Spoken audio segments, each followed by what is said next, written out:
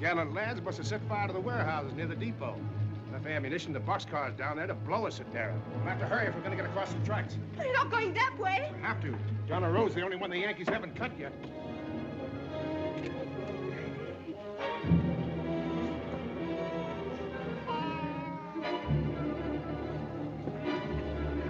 Oh, wait, I forgot to lock the front door. what are you laughing at? At you, locking the Yankees out.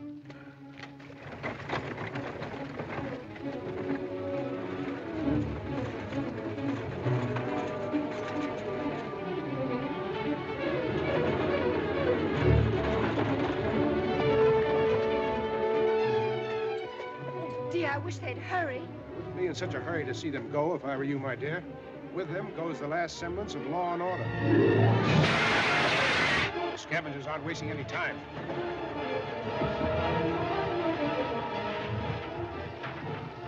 Of here fast. There's a horse. Get. Get us that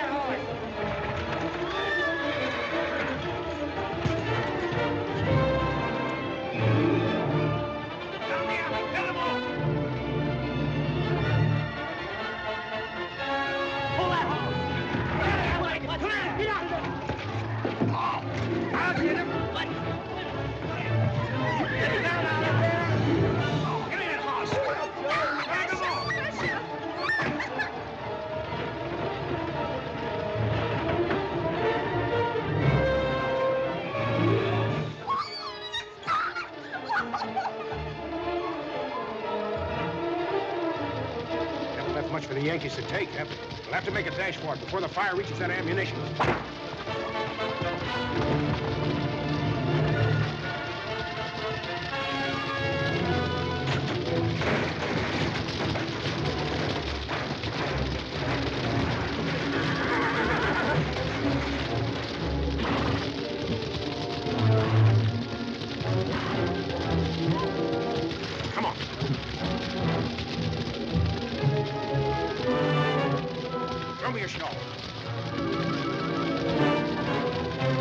Sorry. You'll like it better if you don't see anything.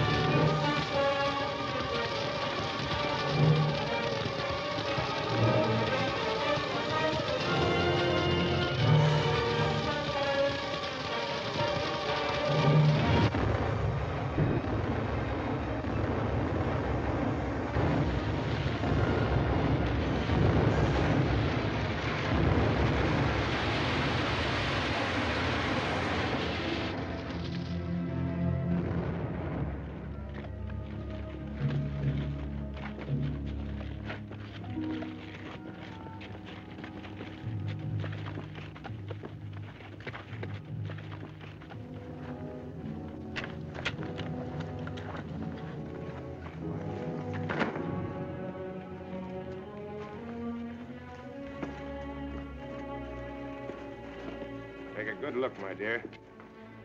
It's a historic moment. You can tell your grandchildren how you watched the old South disappear one night.